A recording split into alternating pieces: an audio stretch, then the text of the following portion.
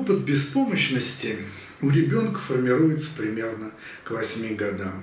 Он уже в это время научается создавать те эмоции, которыми управляет взрослыми или своими друзьями.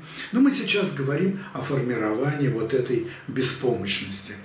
Итак, прежде всего, это три источника таких.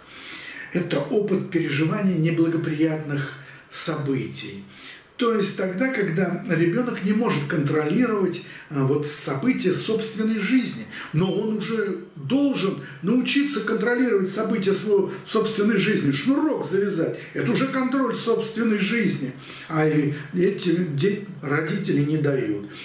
И вот он начинает приобретать э, вот этот негативный опыт, что он не может контролировать свою жизнь. Он хочет пойти вот этой дорогой, а мать говорит, иди сюда, ты бестолковый. Да пусть пройдет, ну лишним, ну полуже хоть пройдет. И это опыт его контроля, его когнитивной карты мира. Нет.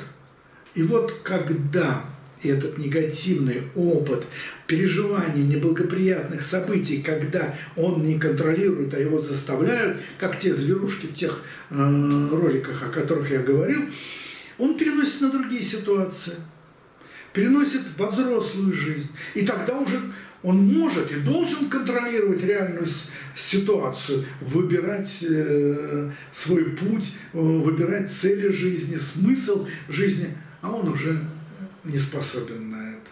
Вот это заложили родители. Отвратительное дело. Родители, задумайтесь. А те дети, которые получили это, это, это не фатально. Вы берите жизнь в свои руки, и я подскажу вам, как это взять. Это не значит, все, теперь вы пропали. Значит, первый опыт негативных переживаний оставляем в детстве вместе с со сраными штанами. Но вот второе, что это, это опыт наблюдения за беспомощностью людей.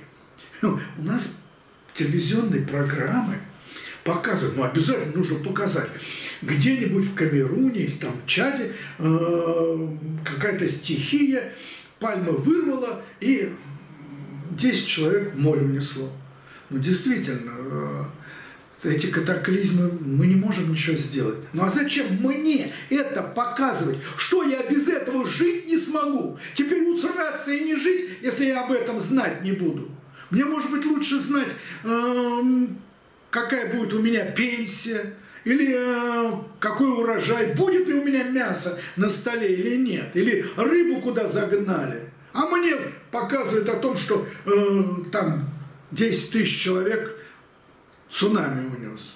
Какой хрен мне это нужно?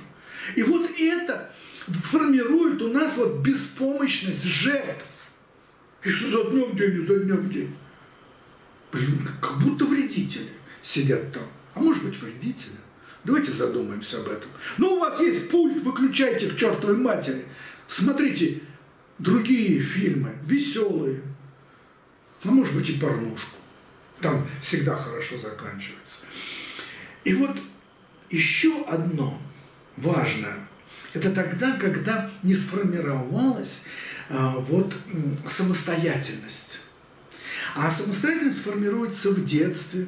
Ну, если в детстве не сформировалась самостоятельность, если в детстве вы не научились кататься на велосипеде, формируйте самостоятельность сейчас – да в любом возрасте формируют. Я начал формировать где-то с 9-13 лет самостоятельность постепенно наращиваю. В 13 я уже был совсем самостоятельно. А я пытаюсь э, внучку учить самостоятельности. Она у меня э, в э, зимние каникулы в первом классе самостоятельно поехала с группой, танцевальной группой в другой город за 2000 километров. Уже самостоятельно родители э, паниковали. А сейчас она уже больше самостоятельна.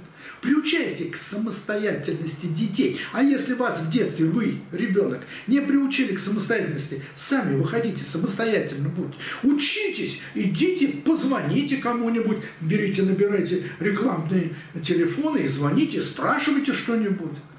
Или подойдите, спросите, сколько стоит А сколько это в граммах будет? То есть действуйте, живите в социуме. И вот эта готовность будет у вас выработана каким-то действиям. А отсюда, отсюда есть очень важный вывод. Вывод о том, что вы сами находите свой смысл жизни, когда вы активны, самостоятельны, когда вы не беспомощны, когда вы выбираете свой путь, ну пусть ошиблись, да не страшно. Вы можете изменить что-то в жизни, как говорится, мужа поменять или работу поменять. Но вы можете менять что-то. Я в жизни вот сейчас поменял, в другом городе живу. И не беспомощный. Хотя старые э, дочери очень переживали, что я э, здесь буду как бы умирать. Сам себе приготовить, сам себе постирать. И врачей тут нет. Я самостоятельный с детства, самостоятельный. И видите, какой активный. А уже 70-й год пошел от рождения. Так что, друзья мои, смысл жизни, радость жизни в наших руках, она в нашей голове, в наших руках, ногах и действиях. А вы мне говорите, кофе пьете без удовольствия.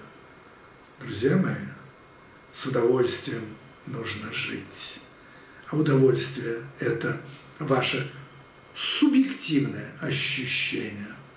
И, может быть, некоторые бурю любят, другие солнце, и они получают удовольствие от того, что им нравится.